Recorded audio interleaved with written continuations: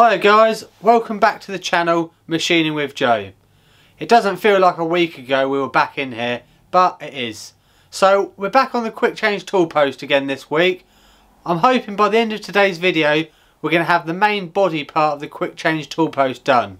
So in last week's video we basically bored out the centre to get that to a 40mm hole and we started taking chunks out of the side ready for the dovetails. Well, this week we're back over on the mill. The majority of today's work is going to be on the mill because I want to get both the dovetails done.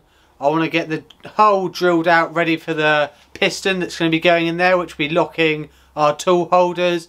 And given enough time, I want to go around and give a generous chamfer to all the edges just to give this tool post a slightly nicer feeling and look.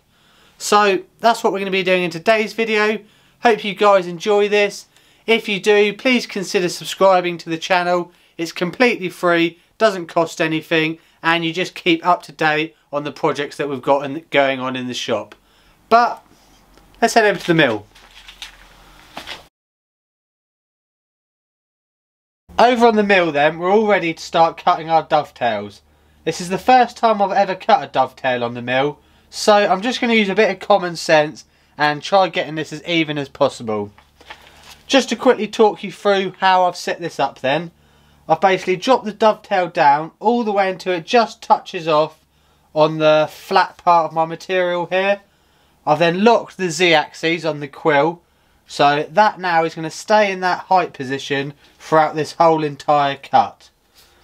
I've then touched off on this very inner edge here and I've zeroed my DRO and the plan is from this zero point now I'm going to be moving into the work 5 millimeters, and then the same when we come to this side keep the z-axis as it is touch off and then move in this way 5 millimeters, and hopefully by doing that we're going to get a nice uniform dovetail with a slight lip here so it shouldn't chip off if I ever hit this in the future.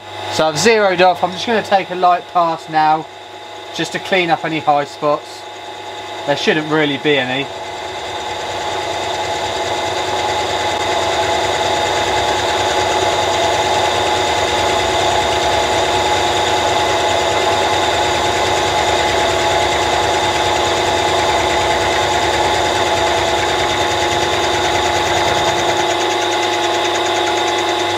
And start off with then let's do really small increments of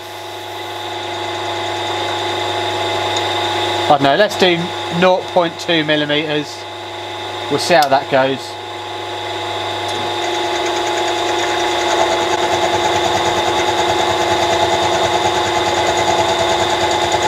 Like I said this is the first time I've ever cut any dovetails so I need to work out really what this mill and what these cutters are capable of in terms of depths of cut.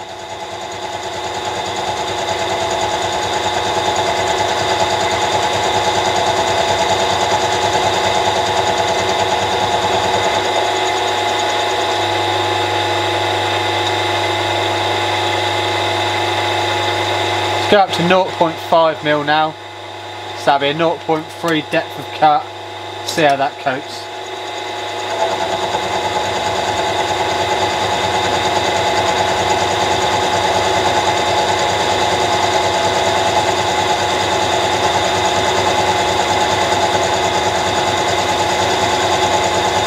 Seems to be cutting not too bad.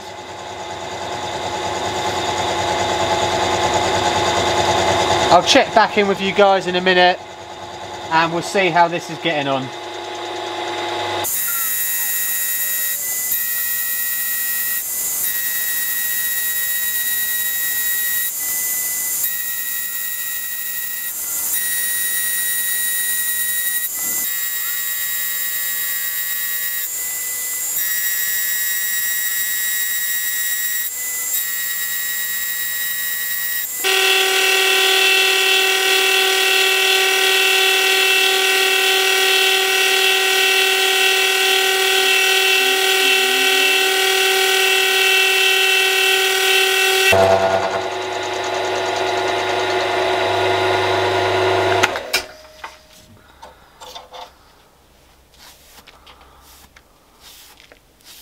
Would you look at that?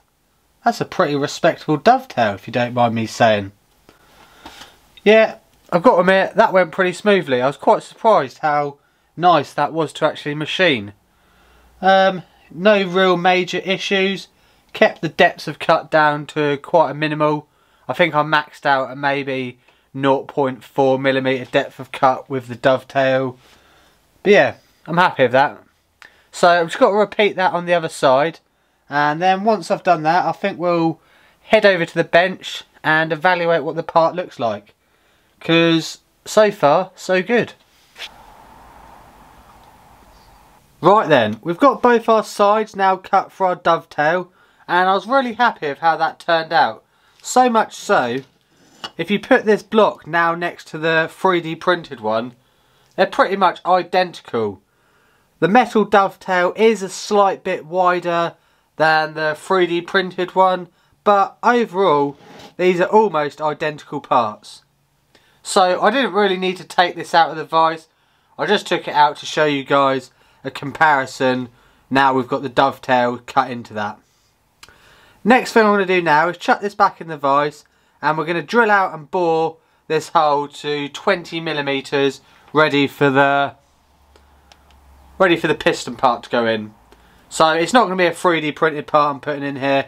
I'm going to make a brass piston to go in here. But just for demonstration purposes, this is sort of what it's going to look like dimension wise when it's finished. So I'm going to carry on with that, bring you guys over with me and we'll see how well this goes drilling this out and reaming it to 20 millimeters.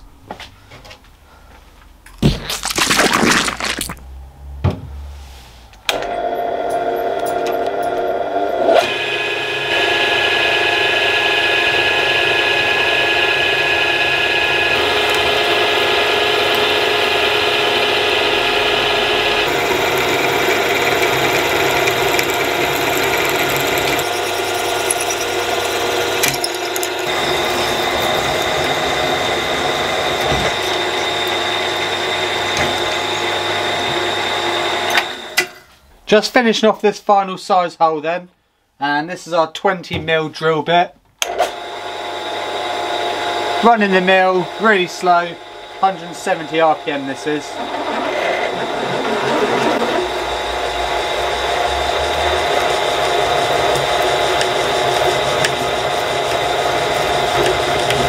So it turns out I don't actually have a 20 mil reamer. So this is going to have to do I'll obviously chamfer it and clean it all up, but unfortunately won't be able to get that perfect 20 millimeter hole that I was hoping for. I don't think it should be too much of an issue. As long as the piston slides in there nice and easy, should be alright.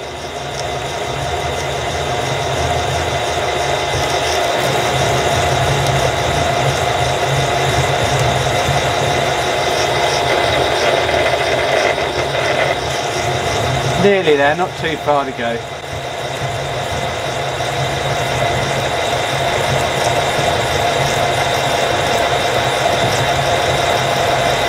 Uh, it's about to go now. We are through.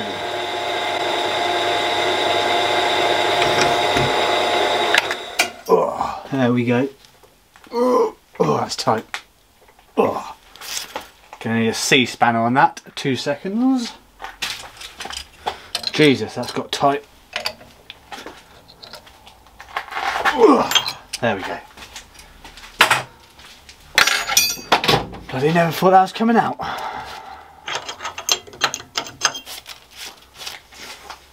So, I haven't deburred it yet, but yeah, the piston fits in there okay.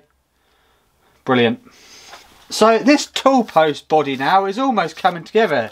It's pretty much finished. Um, what I want to do now, I think, I'm going to chamfer some of these edges. So I'm going to have to flip the part over and I'm probably going to put a chamfer all the way across the top section and then probably some down the sides as well.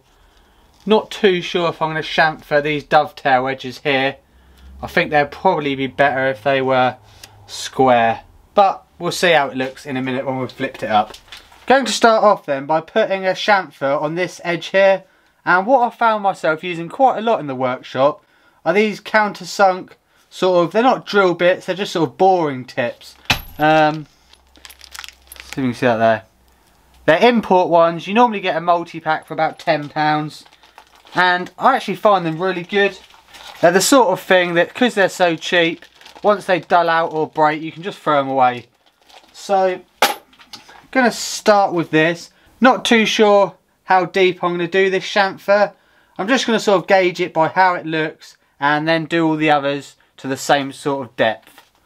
So, let's do this. Do, do, do, so what I'm going to do, I'm going to run the mill, touch off on it, zero off my DRO and just take some light passes. See what this tool's made of.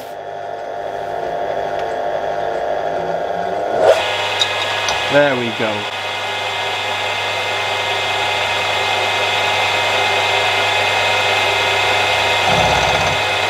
Off there. Zero that out. And what should we start with? Start with 0.2 millimeter depth of cut.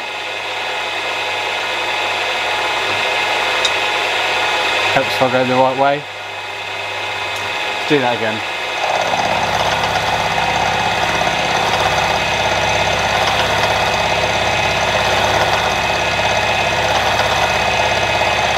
So yeah, I'm not too sure if this is the right way of doing it or the right tool should I say. But it doesn't give a bad finish and it gives the type of chamfer that I'm after. So yeah, not too bad. Alright, that was surprisingly easy. Let's step it up to 0.3, see how that goes.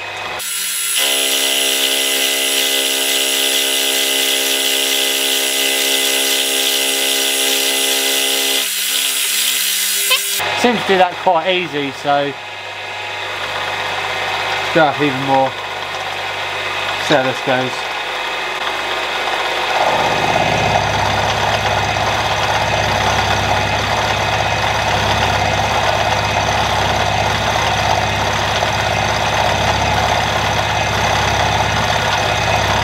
That's not looking too bad.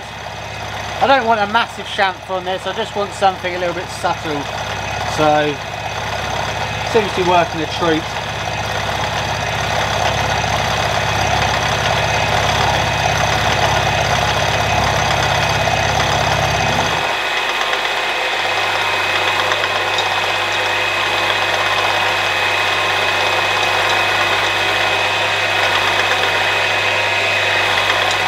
I think a one millimeter chamfer will probably do there, I think.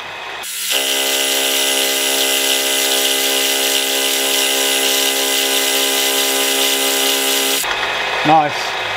Right, I'm going to do the other edge and when we come back we'll put a chamfer on the top. Those chamfers then at 1mm turned out really well so I think I'm going to stick with that for the top section here. I think I can push these cutters a little bit more than what I have been so I'm going to do a 0.5mm depth of cut on this first one. Just that way we can get away with just doing two passes along each edge.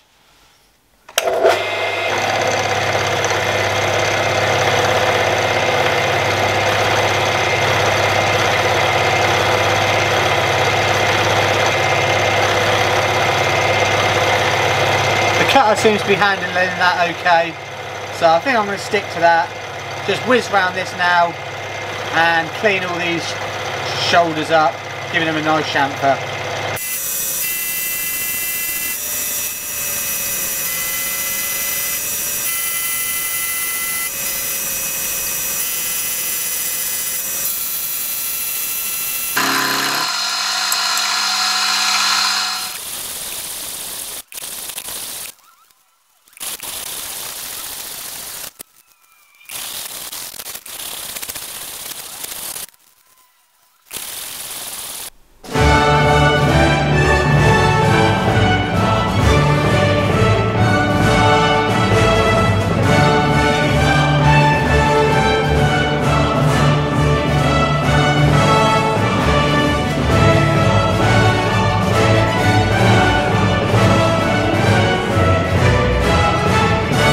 Wow, that's cleaned up nice.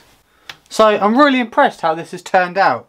After giving it a rub down with some wet and dry sandpaper, this thing's turned out really nice. The surface finish on that is amazing. There's a few little swirl marks from the tool that I was using, but for a quick change tool post, that's brilliant. And I know we've done it before,